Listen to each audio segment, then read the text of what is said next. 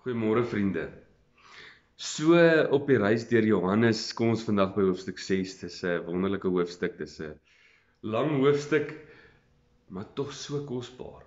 So baie om te leer, so baie om raak te sien. En ek ek vra weer die vraag: Wat staan vir jou uit wanneer jy die hele hoofstuk van Johannes deur 6 deurlees? Vir my is daar twee versies, twee spesifieke versies wat wat uit hierdie hele hoofstuk uit vandag uitstaan en dit is vers 5 en vers 6.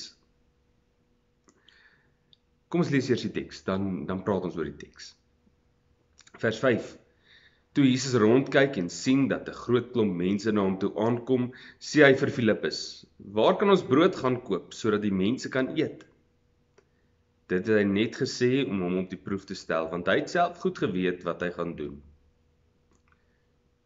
Nou ons lees dan na Filippus wat antwoord gee van Here dit gaan 200 mense se daglone vat om om dit te kan betaal maar vandag is dit so 'n bietjie buite die kwessie. Vandag praat ons net oor die feit dat Jesus vir Filippus uitsonder en hy sê Filippus ek wil by jou weet. Filippus ek wil ek wil jou bietjie rek vandag. Filippus, sê jy vir my, hoe gaan ons hierdie ding doen? Nou, hulle stap nou 'n rukkie saam met hom. So, die vraag is, wat wil Jesus doen deur hierdie wonderwerk? Nou ja, op die ou en weet ons Jesus gee vir hulle kos om te eet. Dit is dis wonderlik. Maar vandag gaan hierdie hierdie wonderwerk oor meer as as net die baie mense wat kos kry dit gaan oor Filippus. Filippus se geloof. En die vraag is in watter omstandighede vind ek en jy onsself dat ons voel maar hier is nie uitkom kans nie. Oef, ek sien nie ek sien nie 'n uh, 'n wegkom plek hier nie. Ek weet nie hoe ek dit gaan bekostig nie. Ek ek weet nie hoe ek hierdeur gaan kom nie. Here, hierso sien ek 'n plan wat nie gaan werk nie. Hoe wil die Here vir my en vir jou rek? Want hy is op 'n pad met hom, ons. Hy wil ons geloof op die proef stel. Hy wil ons help om te groei. Vriende, my gebed is en en dit is regtig iets wat wat diep in my hart lê.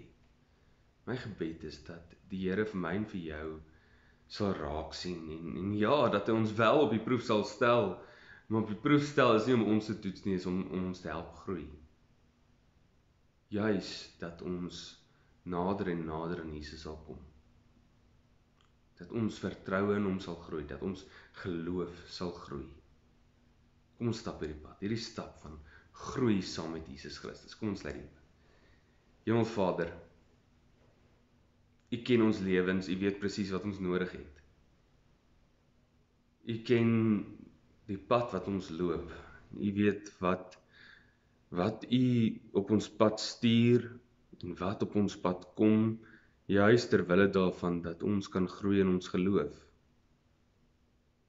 Here, dankie dat ons ook kan leer dat dat u partykeer moeilike situasies, onmoontlike situasies uh en selfs partykeer goeie situasies op ons pad stuur juis ter wille daarvan dat ons dat ons gereg sal word.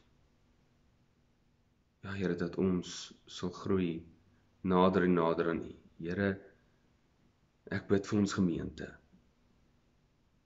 Ek bid vir gelowiges oor die wêreld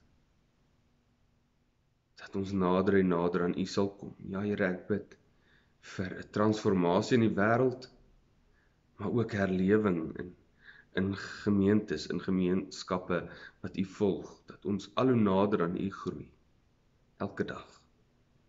In Jesus se naam. Amen.